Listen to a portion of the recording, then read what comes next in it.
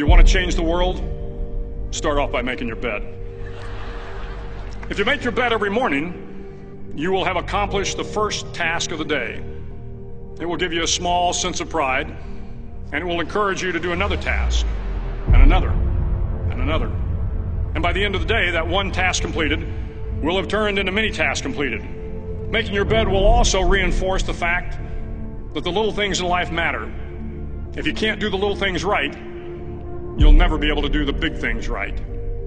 And if by chance you have a miserable day, you will come home to a bed that is made.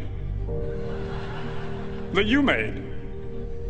And a made bed gives you encouragement that tomorrow will be better. To pass SEAL training, there are a series of long swims that must be completed. One is the night swim. Before the swim, the instructors joyfully brief the students on all the species of sharks that inhabit the waters off San Clemente.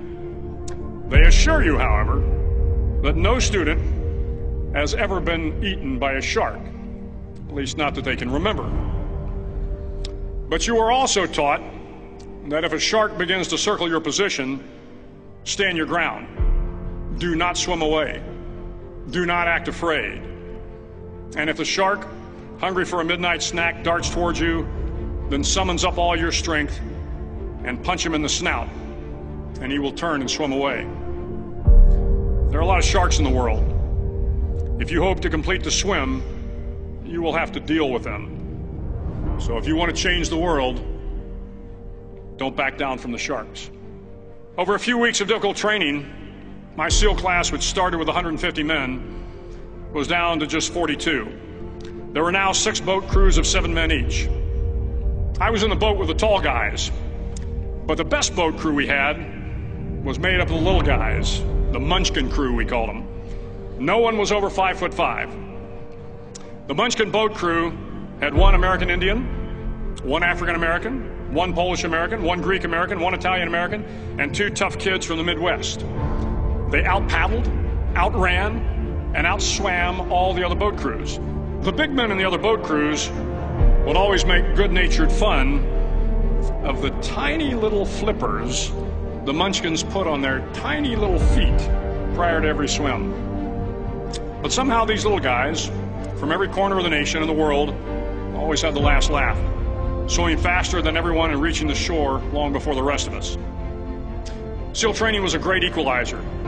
Nothing mattered but your will to succeed, not your color, not your ethnic background, not your education, not your social status. If you want to change the world, measure a person by the size of their heart, not by the size of their flippers. The ninth week of training is referred to as Hell Week. It is six days of no sleep, constant physical and mental harassment, and one special day at the Mud Flats. The Mud Flats are an area between San Diego and Tijuana where the water runs off and creates the Tijuana Sloughs, a swampy patch of terrain where the mud will engulf you. It is on Wednesday of Hell Week that you paddle down in the mud flats and spend the next 15 hours trying to survive the freezing cold, the howling wind, and the incessant pressure to quit from the instructors. As the sun began to set that Wednesday evening, my training class, having committed some egregious infraction to rules, was ordered into the mud. The mud consumed each man till there was nothing visible but our heads. The instructors told us we could leave the mud if only five men would quit. Only five men, just five men, and we could get out of the oppressive cold. Looking around the mud flat, it was apparent that some students were about to give up. It was still over eight hours till the sun came up. Eight more hours of bone chilling cold. The chattering teeth and the shivering moans of the trainees were so loud, it was hard to hear anything. And then one voice began to echo through the night. One voice raised in song. The song was terribly out of tune, but sung with great enthusiasm. One voice became two, and two became three, and before long, everyone in the class was singing. The instructors threatened us with more time in the mud if we kept up the singing, but the singing persisted, and somehow the mud seemed a little warmer, and the wind a little tamer, and the dawn not so far away. If I have learned anything in my time traveling the world, it is the power of hope. The power of one person. A Washington, a Lincoln, King, Mandela, and even a young girl from Pakistan, Malala. One person can change the world by giving people hope.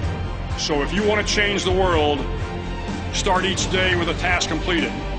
Find someone to help you through life. Respect everyone. Know that life is not fair and that you will fail often. But if you take some risks, step up when the times are the toughest, face down the bullies, lift up the downtrodden, and never ever give up. If you do these things, the next generation and the generations that follow will live in a world far better than the one we have today. And what started here will indeed have changed the world for the better.